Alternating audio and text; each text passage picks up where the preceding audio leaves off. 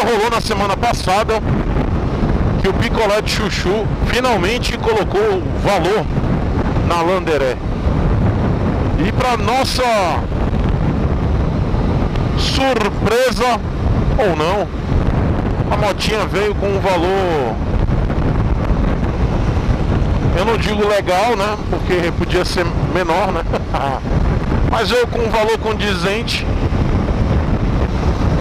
Veio com um valor adequado para a proposta da moto e para o que a moto oferece. Ela veio a 16.990. 17 mil reais.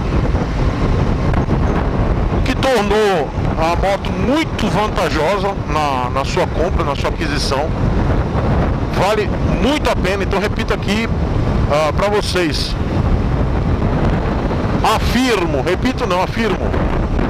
Vale a pena, tá? Quem tiver interesse de pegar uma, uma Lander, tá valendo a pena, galera. Tá valendo a pena mesmo. 16.990, valor sugerido do site mais frete. Mais o frete, tá pessoal?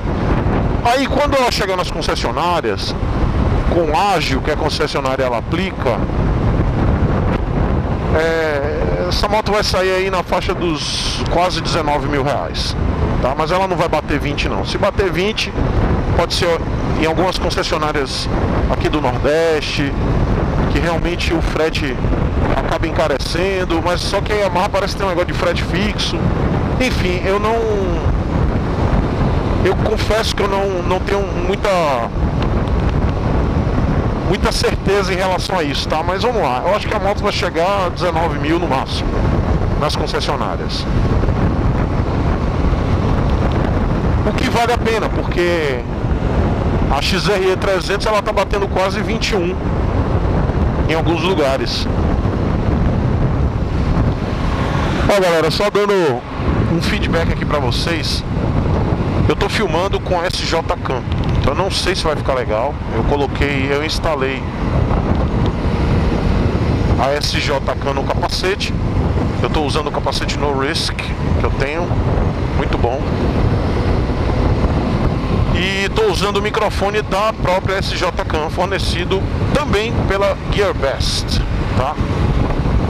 Então vamos ver se é legal. A única coisa que eu sei que a SJ Can ela ela deixa a desejar é o ângulo. Então talvez vocês não estejam vendo os retrovisores. O ângulo dela é mais fechado, é de 170 graus. Mas vamos ver, vamos lá, vamos ver se vai ficar legal. Então galera, eu pedi para muitos de vocês esperarem o lançamento do valor sugerido da Lander para que vocês já comprassem a moto. Ou compraria a Lander, a Landeré, ou deixaria de lado e iria para XRE 300 ou para uma outra qualquer, tá? Mas aqui digo para vocês, está valendo a pena. O valor tá bom, tá condizente, a moto tá bonita, mesmo que ela seja um Frankenstein, como muita gente, como muita gente diz. É... Esse capacete ele me deixa um pouquinho mais com a bochecha apertada, tá, galera? E aí eu tenho um pouco mais de dificuldade de falar. Então não, não reparem não, tá? ah, como muita gente disse aí que é um Frankenstein e tal, mas a moto é bonita, é boa. Ela. Uma pena que a, a motorização é a mesma. Não porque a, o motor é ruim, mas é porque deveria ter uma cavalariazinha maior um, e um pouco mais de torque. Mas mesmo assim a moto teve uma evolução, teve um conforto maior, teve uma evolução na suspensão, na minha opinião, tá? Para quem gosta de off-road, não é uma evolução, mas para quem usa no meio urbano é. Ela, teve, ela acabou tendo um banco também mais confortável, ganhou mais conforto. Um farol também legal. Eu espero que seja tão bom quanto o da Lander antiga. Mas é isso, galera. Tá valendo a pena. Então, se você estava pensando em pegar uma Teneré ou está num consórcio de Teneré, ficou muito chateado pela Teneré ter saído de linha, não fique tanto assim, não, tá? É, a Lander tá aí. Landeré. Você vai poder colocar uns acessórios. Ela vai ficar aí com cara de de moto aventureira. Tá num preço bom. Vamos olhar também no ponto positivo, tá? Não vamos só tacar o pau no picolé de chuchu.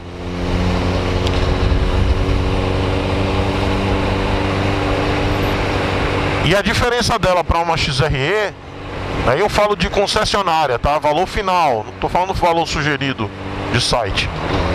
É bem grande, tá? Então tá valendo a pena. E todo mundo sabe da qualidade do motor 250 da Yamaha, a qualidade da moto, tá? Deixa eu só falar mais um detalhe. Não está descartada a possibilidade de eu e o, de eu e o André irmos para a Patagônia de Landeré. Tá? Não está descartado. Se a Royal não topar nosso projeto, a gente vai de picolé de chuchu. Aí a gente vai tentar algum contato com o picolé de chuchu. Eu não estou muito esperançoso que o picolé de chuchu nos dê qualquer tipo de benefício. Não estou mesmo. Mas a gente vai tentar. Se ele não der, é problema dele. Mas estou na, tô na expectativa porque se a gente for de Lander vai ser uma boa. A gente vai colocar a moto à prova. Vai comprovar mais ainda que a moto é boa. E também não estamos descartando a possibilidade de irmos de XRE 300 para ver se trinca ou não trinca. Muita gente quer que a gente vá de XRE 300 para comprovar se trinca ou não trinca. Seria uma boa, né, galera? Seria legal. Não está descartado e também não está descartado a gente ir de crosser. Só que tem um porém. Com o preço sugerido da Landeré de 16.990, tá valendo a pena pegar mais a Teneré, desculpa, a Landeré, do que uma Crosser. Tá valendo muito a pena, tá legal o preço, sabe? Então, eu depois que eu vi esse preço aí, eu falei, pô, comentei até com alguns amigos, eu disse, pô, eu não cheguei nem a comentar com o Andrezinho. Mas falei, pô, tá valendo a pena mais ficar com a Landeré do que uma Crosser.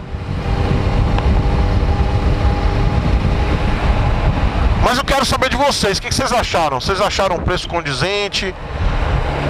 Preço ficou legal? Agora, galera, não adianta, ah, o valor das motos aqui no Brasil é absurdo. Isso a gente já sabe, a gente sabe disso, tá? Ninguém, ninguém tá satisfeito com o valor das motos. Uma moto dessa vale 8 mil reais, pô. Né? Na realidade, uma moto dessa vale 8 paus. Ela não vale 16,990. Mas aí a gente sabe por quê, tá? Não vou, não vou voltar nesse assunto. Mas para a realidade, para os preços praticados hoje no mercado, essa moto está com um valor legal, um valor condizente, né? E ainda eu acredito que cai mais, pode cair, pode rolar alguma promoção, tá? Pode ser que realmente é, com uma promoção a moto seja vendida a preço de, de sugestão de site, tá? Mais para frente temos que aguardar as promoções. Mas para quem está no consórcio, não fica chateado não, tá? A moto é legal, muita gente ficou chateada porque perdeu a Teneré, mas ó, o Honda tá legal. É a minha opinião, tá? E como eu disse, não está descartada a possibilidade de irmos para a Patagônia de Landeré, XRE 300, Cross 650 ou Himalaia. Ou Himalayan, como falam os indianos. E aí, meu agradecimento a todos que mandaram mensagens, todos que estão nos incentivando, todos que estão mandando mensagens lá, o hashtag lá para ajudar a gente lá. Então, quem quiser ajudar a gente, vai lá no, no perfil da, do Instagram da Royal Enfield BR, Royal Enfield DSP e Royal Enfield a Mundial, né? Vai nesses três aí, coloca a hashtag Motoca071, Chico Sepúlveda de Himalaia na Patagônia. Parou, parou, parou? Parou, parou. Deixa eu te perguntar uma coisa, você tá afim de ganhar uma CB400? No canal do Chico Sepúlveda tá rolando uma rifa de uma CB400. Lá você pode comprar as cotas e concorrer a essa moto. Você vai estar tá ajudando eu e o Chico a fazer um documentário sobre a Patagônia. Então todas as pessoas que comprarem uma cota ou mais da CB400, além de concorrer a essa bela máquina, vai participar do grupo fechado do Telegram. Faça parte dessa aventura, venha na garupa com a gente. Conto com a ajuda de vocês, hein? Vamos pro vídeo então, meu filho. Ou qualquer outra hashtag que vocês queiram colocar que, façam, que faça referência a nossa viagem. Vocês vão estar ajudando muito. A gente tem que mostrar para Royal a nossa força e que a gente realmente é, vale a pena a gente ir de Royal e eles darem um subsídio pra gente de 50% no valor das motos na compra. A gente não quer moto de graça, não, a gente quer pagar. Mas a gente quer um subsídio para poder divulgar a marca, né? Nada é de graça. Então, tudo tá em jogo, hein? Eu achei legal. Parabéns ao Picolé Chuchu. Parabéns pelo preço aplicado. Tomara que a Wanderé venda bem, tá? Mesmo ela não tendo a evolução mecânica, né?